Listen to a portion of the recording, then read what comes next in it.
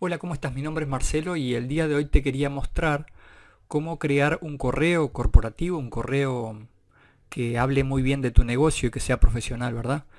Porque si bien un correo en Gmail, por ejemplo, es, es una buena opción, todo el mundo usa, se podría hacer un correo del tipo, en este caso mi página web es masterencursosonline.com, que puede ser perfectamente info arroba masterencursosonline.com. Es un correo de empresa, digamos, ¿no? O, un correo un poco más profesional, se podría decir.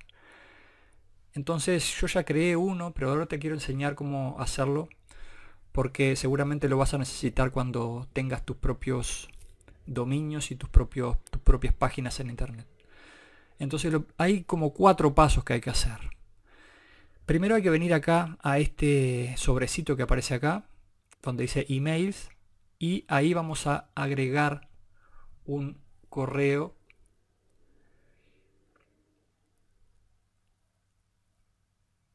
vamos a esperar que cargue un poquito.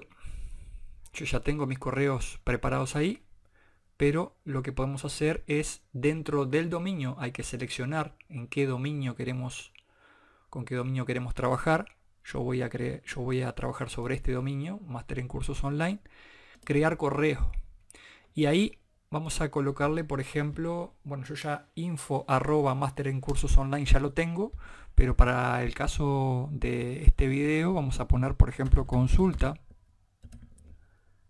arroba master en cursos online.com y ahí vamos a crear una contraseña. Vamos a repetir la contraseña acá y vamos a darle a crear.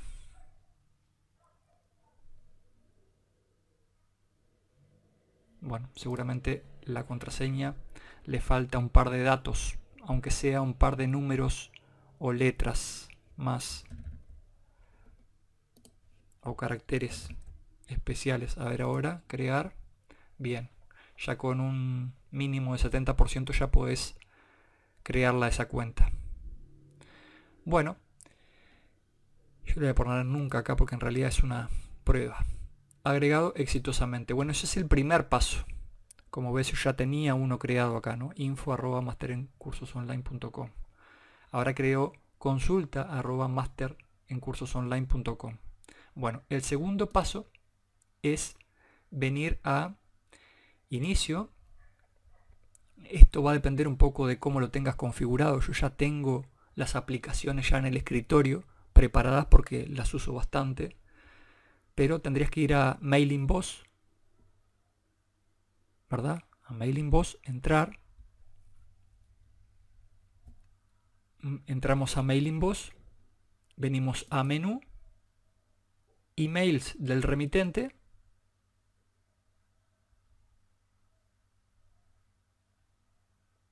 Y vamos a crear nuevo. Es decir, tenemos que repetir el mismo proceso acá en Mailing Boss. Marcelo Rodríguez.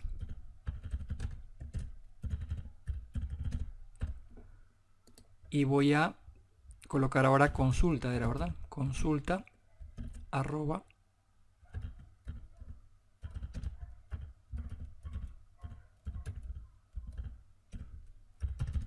tal cual como lo has creado en el otro apartado y le vamos a dar guardar cambios. Yo lo que voy a hacer es después eliminar este correo que he hecho. En realidad uno puede crear infinidad de correos. ¿Qué pasa? Como ves, todos estos sí están verificados porque es necesario la verificación. En este caso que lo acabo de crear, no está verificado. Entonces lo que tenemos que hacer ahora es volver a donde tenemos los las páginas.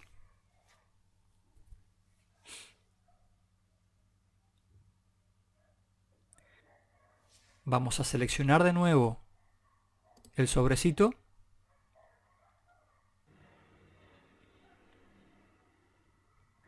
Seleccionamos la, el dominio ver lista de correo.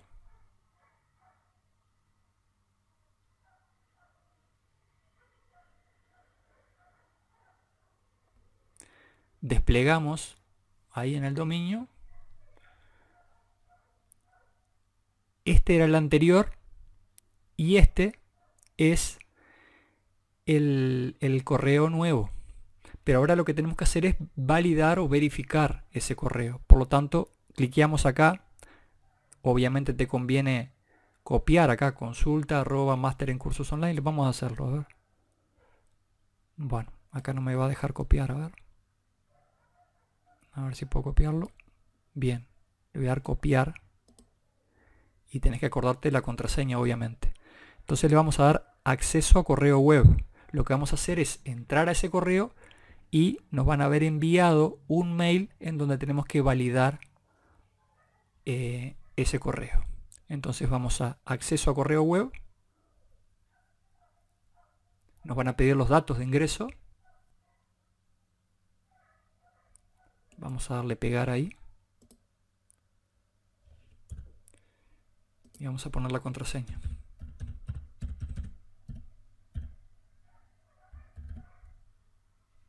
Y le vamos a dar enter. Debe decir nunca porque en realidad ese lo voy a borrar después. Y como ves nos han enviado un mail en donde tenemos que hacer clic ahí y haga clic aquí.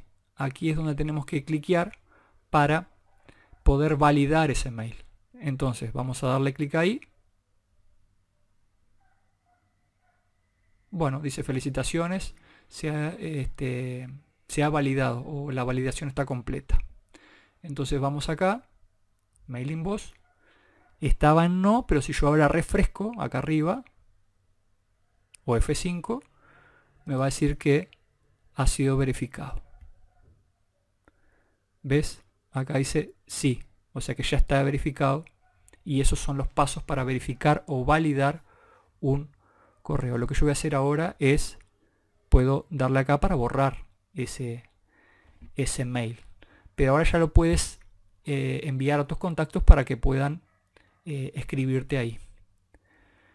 Así que bueno, eso ha sido todo. Son cuatro o cinco pasitos que está bueno saberlos para crear eh, tus mails profesionales y de esa forma estar en contacto con tus suscriptores.